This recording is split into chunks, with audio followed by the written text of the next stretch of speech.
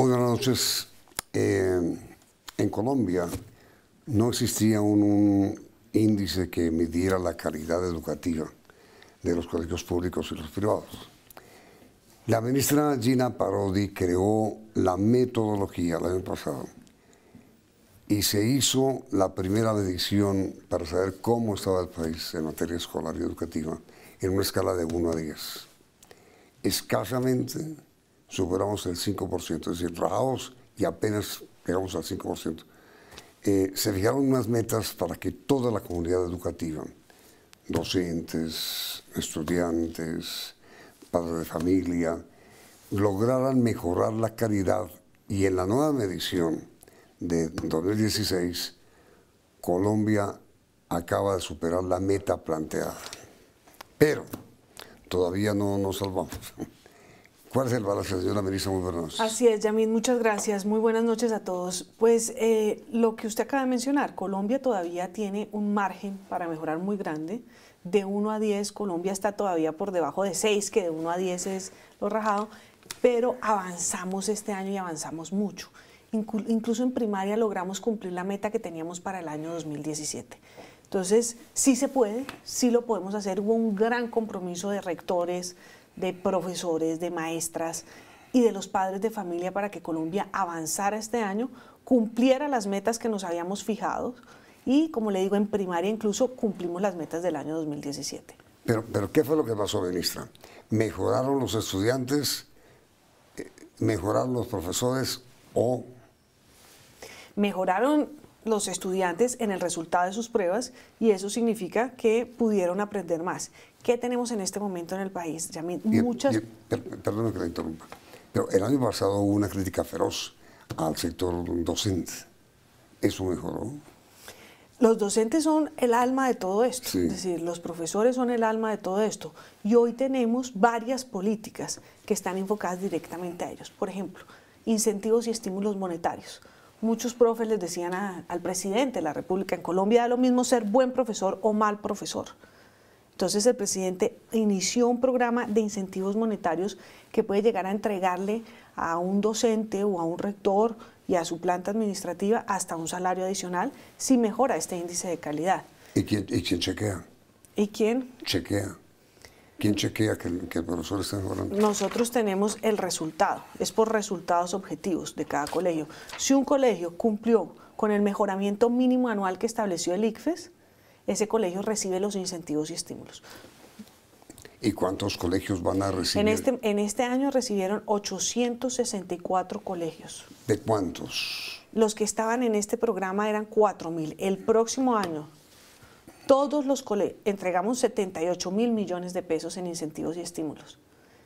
Y el próximo año todos los colegios oficiales entran a este programa de incentivos y estímulos. Si el colegio cumple en primaria, en secundaria y en media con el mejoramiento que le estableció el ICFES, reciben este incentivo monetario, que es una de las políticas que tenemos con los maestros. Otra. Pero, pero antes de pasar este tema, ¿usted recuerda que el año pasado, cuando usted creó esta medición, el, cuerpo docente del país se, molestó. Pues siempre hay críticas eh, y esta, aquí oímos muchas de las críticas antes de crearlo. Por ejemplo, siempre nos decían a nosotros los maestros, no solo ponga el resultado de las pruebas y va a crear un índice, pónganos otros elementos.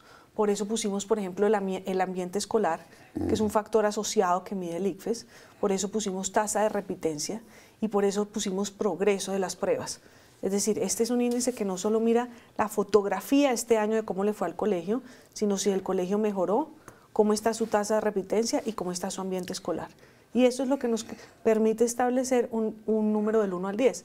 Los dos primeros, las pruebas saber y el progreso, cada uno pesa el 40%, y los dos últimos, el ambiente escolar y la tasa de repitencia, cada uno pesa 10. Pero, pero en general, ministra, en la medición que usted reveló hoy, ¿el profesorado se salvó o se rajó? Se salvó y se salvó con creces. ¿Por qué, Yamid? Porque a nosotros nos habían fijado una meta. aquí, aquí le muestro este cuadrito. Así estábamos nosotros en el 2015, 507 en primaria, 493 en secundaria y 557 en la media. La meta que nos habían fijado era de 524 y sacamos 5.42 en primaria. Si usted ve, esta era la meta que nosotros teníamos para el 2018. 5.27 teníamos como meta y la, y la perdón, 5.12 teníamos como meta y sacamos 5.27 y 5.86 teníamos como meta en la media y sacamos 5.89. Entonces, un gran aplauso y grandes felicitaciones a rectores, a docentes y a estudiantes. La gente puede preguntar, hombre, pero todavía estamos rajados. Y es que eh, de lo que se trata es saber dónde estábamos parados, porque uno no sabe dónde va a llegar si no sabe dónde está parado. Y el país tenía que estar consciente que en educación nos faltaba mucho margen y muchos pasos. Y lo que tenemos que hacer y lo que hicimos con el ICFES es que nos dijera todos los años, durante 10 años, cómo teníamos que elevar este número de tal manera que en el 2025 Colombia pueda ser la nación más educada y eso significa alcanzar a Chile. Así que la tarea que hicimos fue proyectar a Chile a 10 años, proyectar a Colombia a 10 años y medirnos cada año. Para, es indispensable cumplir esta meta cada año. La buena noticia para el país es que cumplimos este año y fuimos jalonados sobre todo por matemáticas. ¿Eso qué quiere decir? que tenemos que ponerle mucha atención a seguir con esta dinámica en matemáticas, pero a jalonar también lenguaje. Pero veo, señora ministra, con preocupación que ni siquiera al final del gobierno del presidente Santos vamos a pasar. ¿Vamos a pasar en media? Si seguimos al ritmo actual es muy probable que... Pero, pero ah, en seis, a seis. Esto es, esto es el mejoramiento mínimo anual, que es lo que nos dice el ICFES, usted tiene que llegar. Cuando usted ve la, toda esta proyección a 2025, estamos superando el 7, casi alcanzando el 8. Pero lo importante, Yamid, es que cada colegio mejore que cada municipio mejore, que cada departamento mejore y es la suma de todos ellos los que nos permite que el país mejore. Esta, esta pregunta no supone ninguna crítica al cuerpo docente del país, pero eh, ¿no tenemos buen profesorado en Colombia? Yo creo que tenemos muchísimos. Pero, pero rajado. Sí, pero es que también hay que poner políticas que estimulen, que incentiven, hay que consentirlos, hay que reconocerlos, hay que darle textos a los colegios, hay que hacer jornada única. Es decir, los profes son parte de la responsabilidad, como somos el gobierno nacional, como son los gobiernos locales, como son los padres de familia Yamit. Nadie reemplaza la voz de una madre que le lee a su hijo en la noche. Entonces, esto más bien yo mostraría es la gran ganancia de los profes este año es que lograron superar la meta que nos habíamos impuesto como país. Pero, ¿cómo lo logró, ministra? ¿Cómo se logró que el profesorado superara su condición actual, o la que encontró usted hace un año? Yo diría que tenemos muchos programas que están hoy apuntándole al mejoramiento del programa. ¿Programas pedagógicos? Sí, programa Todos Aprender, por ejemplo, es un programa en el cual tenemos 100 formadores que son seleccionados como grandes maestros del país, que forman a 4.000 tutores, que se van a colegios que han tenido bajo desempeño y con los profes de esos colegios arman el plan, les llegan textos de la mejor calidad y pueden progresar y por eso, debido a ese programa Todos Aprender, es que nosotros alcanzamos la meta de 2017 en primaria. Iniciamos jornada única, iniciamos las maestrías para los docentes. Estos, esto, este cuerpo docente es primaria, secundaria y media. Así es. ¿Cuántos son? 330 mil. 330 mil. Y a todos ellos les repartió usted 70 mil millones. A los 860 colegios que en sus tres indicadores cumplieron las metas. ¿A los colegios o al profesorado? Repartimos a todo el colegio, acá, es decir, el cheque le llega al colegio para repartir al rector, a los docentes y a la planta administrativa. En educación, Yamid, y esto me parece bien importante que lo sepamos todos los colombianos, se ha ido edificando toda una cultura que nos permite hoy estar pensando en la calidad. Nosotros teníamos un gran problema de cobertura en el país y las políticas de años pasados se dedicaron en buena parte a cobertura. El primer gobierno del presidente Santo, por ejemplo, hizo la gratuidad en la educación de tal manera que hoy ningún niño pueda tener excusa de no ir al colegio porque es completamente gratuito e inicia con uno de los programas más exitosos para la calidad educativa, que es el programa Todos Aprender. Entonces es poco a poco, con mucha disciplina, como hoy estamos moviendo la calidad, no nos podemos descuidar un segundo para, como le digo, correr la maratón a la que llegaremos en el año 2025. Todos los años tenemos que mejorar y eso es lo más importante. Ahora, ministra, eh, ¿por qué está usted tan optimista siendo las cifras tan relativamente... mm, Estoy optimista, Yamit, porque el país llevaba muchos años quieto en la calidad educativa. Cuando usted mira las pruebas a ver, ve que el país está completamente quieto, que hoy se produce un movimiento muy grande, como le digo, sobre todo por matemáticas, que nos permitió subir estos números y no echar para atrás.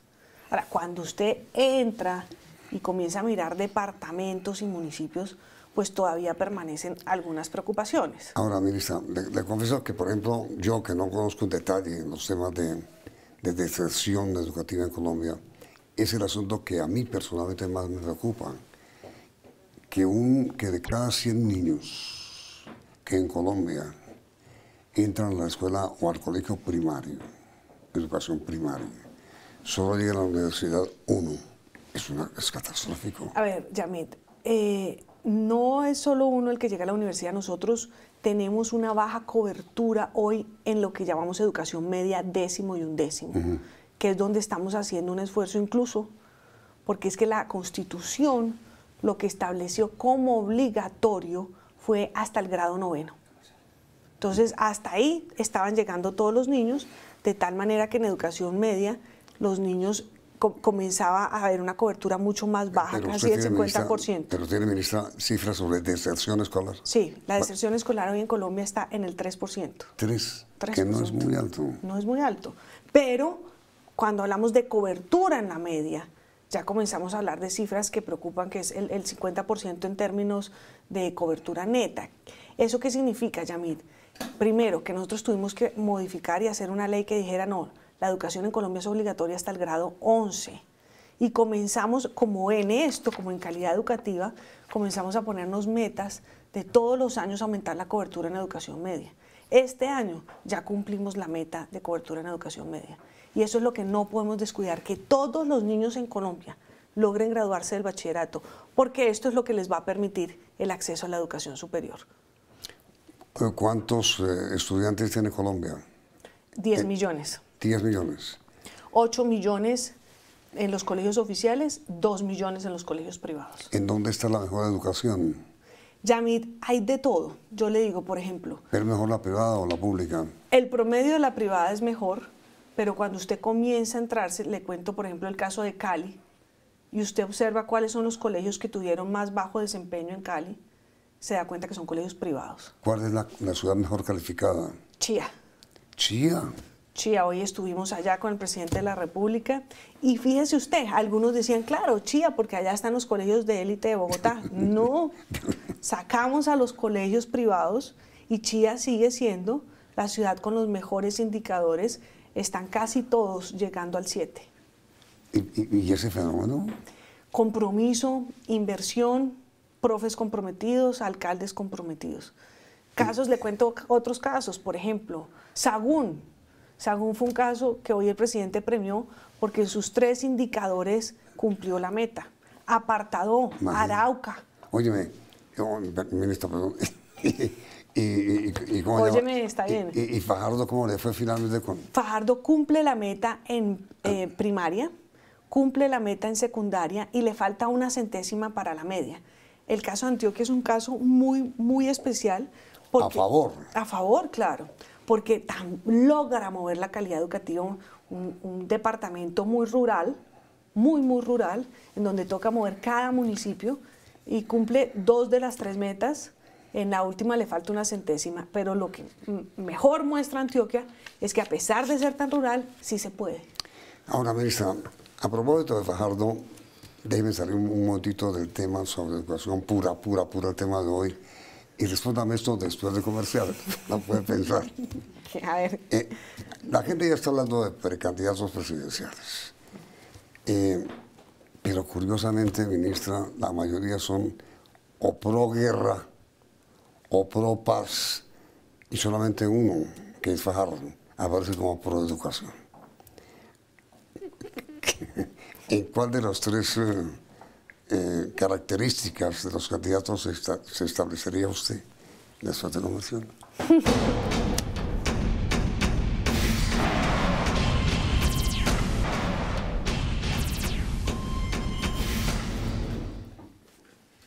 definitivamente no pro guerra y Espero que pues, no me vayan a acusar de No, participación no, en política. Pero obviamente también yo creo que este país se construye o se, sobre todo des- después que firmemos la paz, esa punta de educación.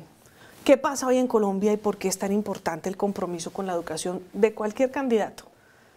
Porque hoy en Colombia el futuro de un niño todavía depende del lugar donde nace. Si nace en un hogar rico, tiene un futuro, si nace en un hogar pobre, tiene otro futuro. Pero con educación de calidad, que es lo que nos pasa con el programa Serpilo Paga, el niño define su futuro según su esfuerzo y su disciplina. No importa si el niño es rico o el niño es pobre. Y eso solo se logra en un país a través de la educación. ¿Cuál es el grado, ministra, de analfabetismo que hay en Colombia? Todavía estamos en un 6%. Altísimo. Para que nosotros podamos ser declarados un país libre de analfabetismo, tenemos que estar por debajo del 4%. Y estaremos, estamos lejos de eso. No es- hemos avanzado y, y es un compromiso del presidente lograr que Colombia sea libre de analfabetismo. Entonces, el programa de analfabetismo del ministerio es muy alto, muy comprometido y, y en diciembre hacemos muchos grados muy emocionantes, muy lindos, porque es la posibilidad de que una persona que básicamente estaba fuera de la sociedad por no saber leer o escribir entre con historias maravillosas de vida. ¿A quién se le considera analfabeta? A una persona que no sepa leer y escribir. ¿Pero de, pero de qué edad? Ah, tiene que ser eh, que ya esté en extraedad, es decir, por encima de los 17 años. Ahora, hay extraedad por grados, pero en general estos son cursos que se hacen adultos. Ahora, ministra, el objetivo primordial suyo, si es que la confirma como ministra, ¿cuál va a ser? Calidad, calidad, calidad para generar igualdad de oportunidades en Colombia. ¿Usted quiere seguir el gabinete? Este es el cargo más hermoso que yo Que he sí. tenido y estaré a disposición del presidente de la República siempre. ¿Pero quiere seguir? Me encanta lo que hago. Y digo, entonces, si la confirmaran, su objetivo será Calidad en la educación para que nosotros podamos tener un país de igualdad de oportunidades. De todas las regiones de Colombia, la Caribe, la Pacífico, la Andina, ¿cuál es la región que más le preocupa en materia educativa? La Caribe es la que tiene el índice más bajito y es la que tiene departamentos como el Magdalena, que no cumplió con ninguna de sus tres metas. Es ahí donde tenemos que poner el foco. Incre- increíblemente, eh, pues nos toca estar mucho más pendientes de la costa ¿Y caribe. por qué, ministra? ¿Qué pasa en la costa? A ver, en el caso del Magdalena, que yo estuve este fin de semana trabajando allá, encuentro rectores, profes muy comprometidos, pero necesitamos más compromiso de los gobiernos locales. Es decir, tiene que haber transparencia, tiene que haber inversión. Usted sabe que nosotros tenemos cuatro, estamos haciendo en este momento cuatro batallas campales contra mafias. Una de ellas, la conoce usted muy bien, alimentación escolar. Otra de ellas es la contratación de profesores que no hacen parte de la nómina oficial. La otra son las universidades, que ustedes también nos han ayudado mucho a hacerle seguimiento. Y la cuarta es la salud de los maestros. Son cuatro batallas muy grandes que estamos brindando. En el caso de Magdalena, se lo dije a la gobernadora, sean transparentes con los recursos de educación. No vayan a hacer politiquería con esto. Usted sabe, ministra, que ese es el gran problema que hay en Colombia, que se hace politiquería con el nombramiento de maestros, que los dirigentes y los caciques de las regiones le pidan a sus gobernadores que nombren a sus, ministros, a sus uh, maestros, que si hay un sector mal influenciado por la politiquería, es ese, la educación. ¿Eso todavía existe? Yamid, hemos tomado medidas radicales frente a eso. Por ejemplo, existía, existe una parte que puede hacerse con, con contra- que llamamos la matrícula contratada, que sale de nuestra nómina oficial porque hay sitios en donde los maestros oficiales no llegan. Esto debe ser completamente la excepción. Y sacamos un decreto en el cual establecimos si el colegio tiene unos indicadores de calidad muy bajos, nosotros no vamos a aceptar que vayan los niños allá. Y esa, por ejemplo, ha sido una gran batalla en el caso de Cali. Usted sabe que haya habido concejales presos por el caso de la contratación en educación. Sí. Eh, y volvimos a hacer denuncias y yo creo que la Fiscalía rápidamente se va a pronunciar sobre este caso. Y está lo otro que son los provisionales, Yamid, en donde, como usted dice, pu- puede ocurrir eso. Entonces, lo primero que hicimos fue poner unos requisitos y un banco y lo segundo es, vamos a hacer un concurso, además un gran concurso a final de este año. Hace cuatro años Colombia no hace concurso de maestros y está todo preparado para atra- atraer a los mejores profesionales de Colombia, a los mejores profes además para este sector. Eh, creo que estamos tomando todas las medidas, pero ha sido una batalla grande. El caso de Cali no ha sido un caso fácil. Mm.